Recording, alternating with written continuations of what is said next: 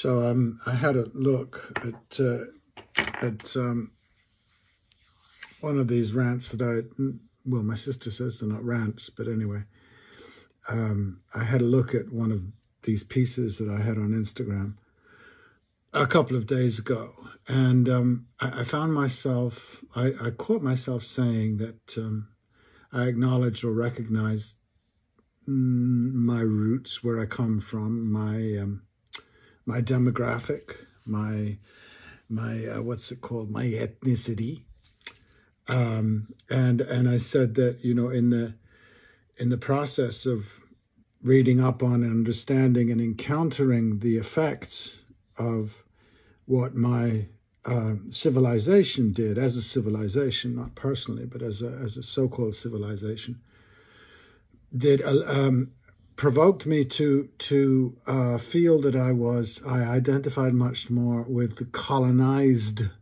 than with the colonizer.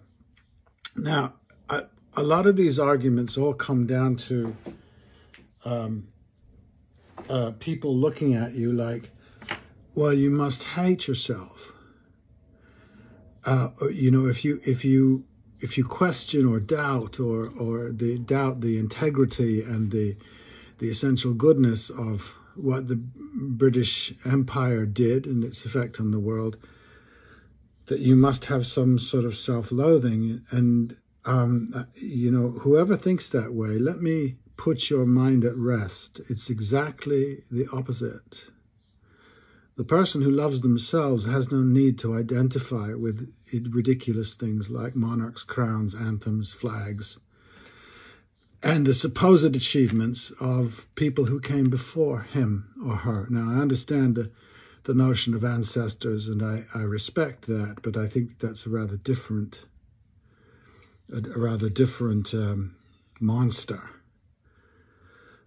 The respect for ancestry is is a sort of recognition that I had when my father passed that um, I had been living with some tension throughout my life with a father who I um, came to respect eventually as a sort of as as a Ulysses. And suddenly I recognized who he was and and what he meant and and his influence upon me through that very uh, window, the the classical window. So uh, just lay, set your mind at ease that it has, you know, that the need for somebody to say, well, I am British and I am part of this Labour Party or Tory party, and I, you know, like the wonderful Rory, um, gosh, what's his name? The uh, podcaster.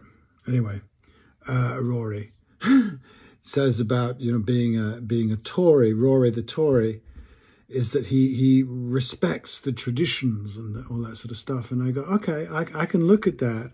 I can't identify with it. I can't. I'm not straight laced, not stiff upper lip. I'm just not like that.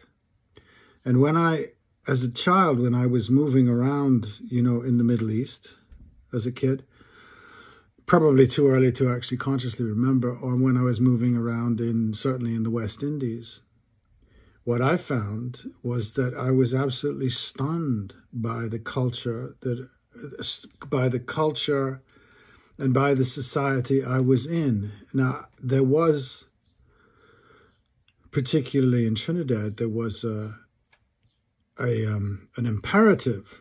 I lived amongst white people, and there was a certain um, looking down upon a certain condescension about the African and the East Indian communities there. But uh, my father and mother actually resisted that.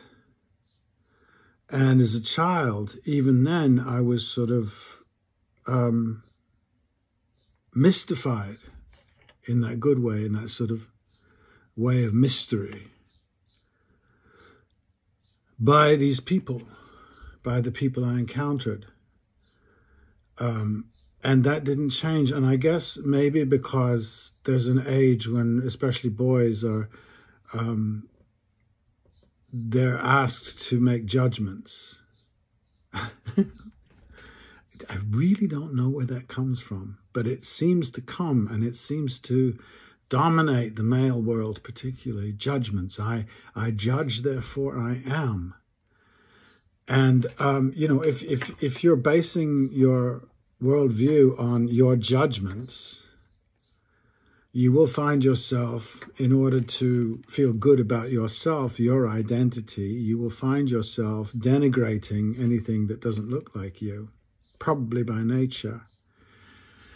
And then you will convince yourself that you are being rational and unsubjective, you're being objective. And so, objectively, you know, the great civilizations of Europe were the inevitable ones. They were the superior ones. They had the superior arms. They had the superior religions and all that sort of stuff. And as I've gone into before, this is mostly need. There's no basis in fact, you know, there's nothing either good nor bad, but thinking makes it so. Why, then it is none to you. You know what I mean? It's like if you need to believe those things, you will. And you will go to university or wherever it is that you go. You will go to your various authoritarians and you will find the, the books and the passages in the books. You know, you'll find the Kiplings and you'll find the the the, the um, what's that one? Jack, the Jack Londons. You will find all those people who make those judgments about those other civilizations, and you will adopt them because you need to.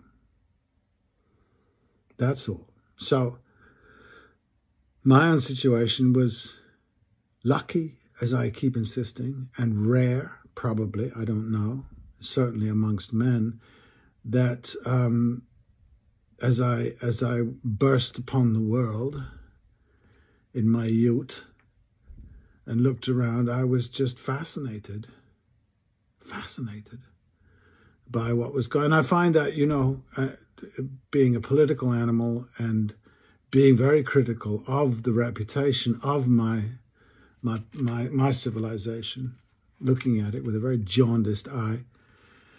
Um, still, I have to look at it and find it marvelous. Even what remains, even what remains in WASP culture, in which I have bathed for many years it's there's there's always this relentless glow of something quite marvelous about human beings, despite themselves, despite the ridiculous narratives that they come up with. So anyway, I just wanted to clarify that, and uh, those of you who who find this this um, you know whoever you imagine is self-hating, whether they're African Americans or Jews or whatever it is, you need to be very careful